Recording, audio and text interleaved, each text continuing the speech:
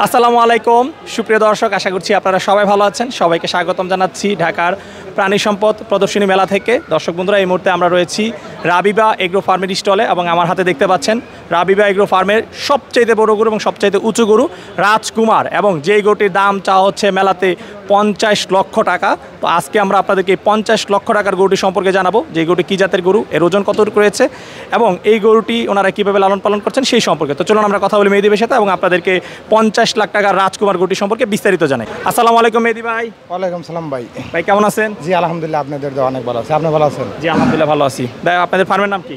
আমাদের ফার্মের নাম হচ্ছে রাবি ব্যাগ্রো আচ্ছা মেলাতে কয়টা গরু নিয়ে আসছেন? মেলাতে গরু আনছি আপনার তেরোটা একটা মহিষ আছে দুইটা ছাগল আছে কাশ্মীরি। আচ্ছা এর মধ্যে আপনার হাতে যে গরুটা দেখতে পাচ্ছি এটা কি সবচেয়ে বড় গরু? এটা আমাদের সবচেয়ে বড় গরু বাট এর সাথে ওজন বেশি আছে আরও। এর চেয়ে ওজন বেশি আছে?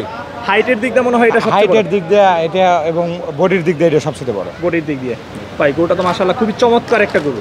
আর এটা কি জাতের গরু? এটা আপনার উলবাড়িয়া শিববি বলি আমরা। উলবাড়িয়া শিববি গরু? জি। আচ্ছা এর হাইট আছে কতটুকু ভাই? এটা হাইট আছে আপনার সত্তর ইঞ্চি।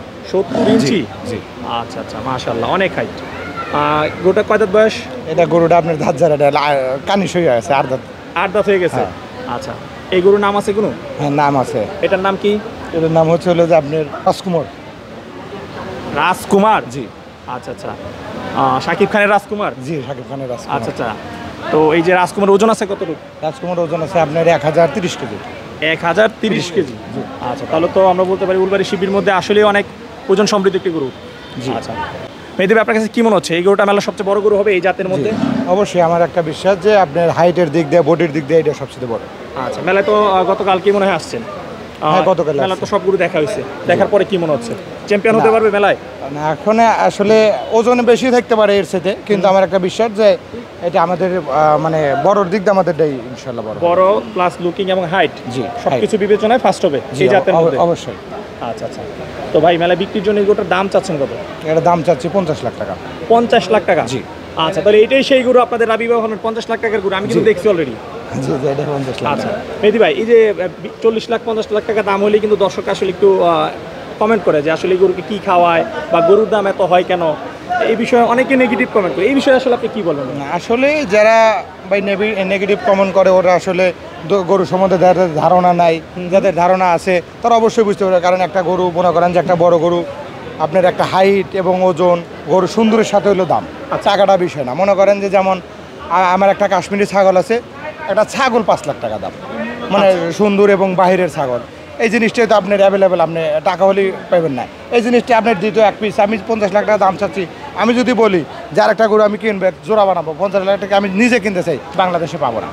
মানে সারা বাংলাদেশে ওয়ান পিস জি আমার আচ্ছা এই সারা বাংলাদেশে ওয়ান পিস হওয়ার কারণে তার মানে আপনি দামটা চাচ্ছেন পঞ্চাশ লাখ পঞ্চাশ লাখ টাকা। আচ্ছা আর কোনো কারণ নাই? না এই জাতের গরু আছে কিন্তু এত হাইট এবং এত ওজন কারোর কাছে নেই। আচ্ছা আচ্ছা।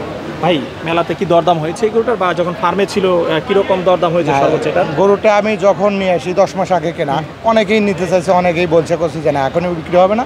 গরুটা আমি রেডি করব তারপরে বিক্রি হবে। আমি মনে করেন যে গতকাল রাত্রে গরুটা নিয়ে আসছি এখন জিজ্ঞেস করছে অনেকেই বলছে দাম দর হয়েছে আর কি। আচ্ছা এই যে যারা দেখতে আসছে আমরা দেখতে পাচ্ছি অসংখ্য মানুষ আসতেছে ছবি তুলতেছে হ্যাঁ? দাম শোনার পরে তাদের প্রতিক্রিয়াটা আসলে কি?